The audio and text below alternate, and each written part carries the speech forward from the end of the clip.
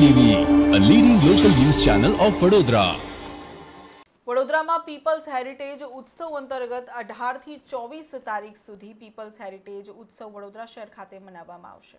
વડોદરાના birthday celebrate કરવા માટે વડોદરા પીપલ્સ હેરિટેજ દ્વારા અઢારથી ચોવીસ નવેમ્બર દરમિયાન હેરિટેજ વીકનું આયોજન કરવામાં આવ્યું છે.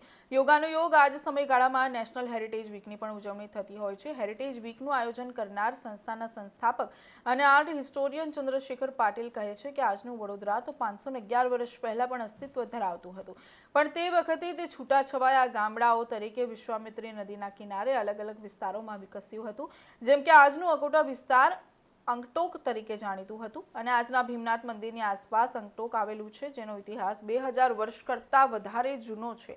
હેરિટેજ વીકનું આયોજન કરવામાં આવે છે, જેમાં લોકોને વડોદરાનો ઇતિહાસ જાણવાની તક મળે છે. અઢાર નવેમ્બરે સવારે આઠ વાગ્યાથી માંડવી ખાતેથી હેરિટેજ વોક સાથે આ ઉજવણીનો પ્રારંભ થયો છે. હેરિટેજ વોકમાં વડોદરાની ઐતિહાસિક ઇમારતો લોકોને જોવા મળશે, તેની જાણકારી આપી હતી. આ હેરિટેજ વોકમાં પચાસથી વધુ લોકો, જેમાં શાળામાં બાળકો સહિત શહેરના લોકો પણ જોડાયા હતા. ઇતિહાસવિદ અને આર્ટ કન્ઝર્વેટર ચંદ્રશેખર પાટીલે જણાવ્યું કે આ હેરિટેજ વોકનું આયોજન ખાસ એટલા માટે યોજવામાં આવ્યું છે કારણ કે વડોદરાના લોકો જાણે કે વડોદરા શહેરનો વારસો શું છે અને કેટલા અદ્ભુત સ્થળ છે. શહેરની પોળ, મંદિરો, મસ્જિદો, ચાર દરવાજા છે. એનું મહત્વ લોકો સુધી પહોંચાડવાનો પ્રયાસ છે.